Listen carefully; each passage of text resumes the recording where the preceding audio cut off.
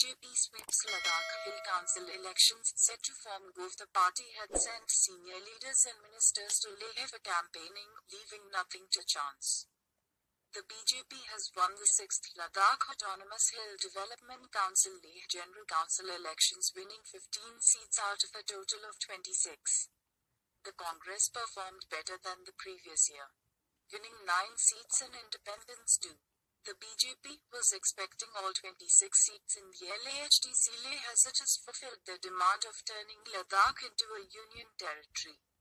However, soon after the UT status fear gripped the region as the government did not grant sixth schedule to the region.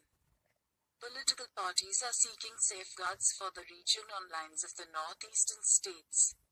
This factor was played up by the Congress during the election campaign, which increased its tally.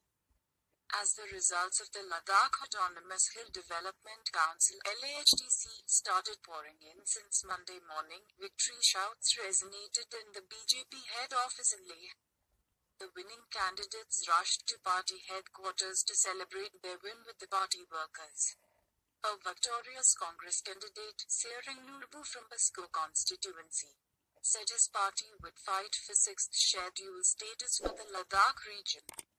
An independent candidate Gonchok Stason from the border constituency of Chishu said the situation on the border was terrible. I will not hesitate to put forward my views of the present situation in the border area before the people of Ladakh and outside, he added. From Panamik constituency, the BJP Tsering Sandup said the BJP's victory from Nubra Valley, including his success, shows the party has worked for the welfare of the people. He said he would be working in the education sector in his constituency. The BJP made all efforts to retain its hold on LAHDC Leh even as tension along the line of actual control in eastern Ladakh and increasing local protests concerning jobs, demography, and identity were raised by the Congress and independent candidates to put the party on the back foot.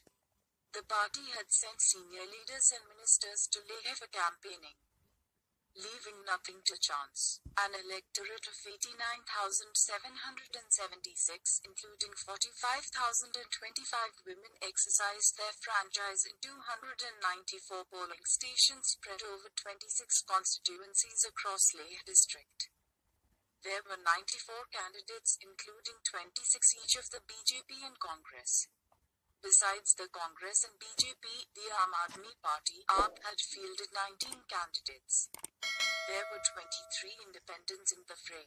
The LHDC Leh was constituted in accordance with the Ladakh Autonomous Hill Development Council Act of 1995 during PV Narasimha Rao's government and its first election was held in 1995.